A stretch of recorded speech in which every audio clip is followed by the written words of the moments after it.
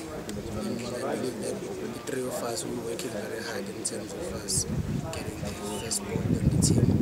But again, we know that one person must be chosen to, to, to play on the first 11, but we all supporting each other and yeah, the confidence is high. We're looking forward to our debut tournament is in Congo.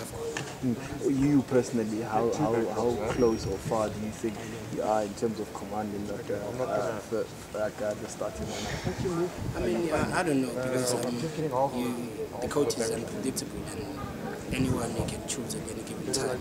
Um, I just gotta be ready in terms of me preparing myself in terms of fitness in case he chooses me. But again, if he chooses, chooses anyone, I'm also gonna support that person. It's a simple thing it's for the country, not for me, but for the country to do better. I, I, I don't know if I'm wrong. I haven't seen you guys uh, do any set piece routines uh, to see how, how you guys were moving in and around that area. How, how what's the thinking behind that? Um, um, we've, we've done some set pieces, of course, we're working hard on in terms of set pieces also. But yeah, um, we've, we've worked on set pieces, but just a few set pieces, and I think we're going to stick to them. Like you said, uh, Now the team has been winning, uh, the whole country is behind the team. Everybody loves the winner.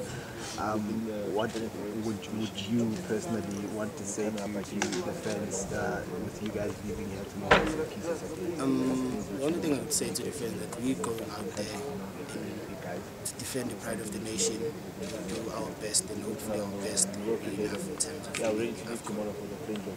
And with the time that you guys will be having before the tournament starts, you still have next week two more friendlies to play. And we know in the national team, you guys usually come for a few days.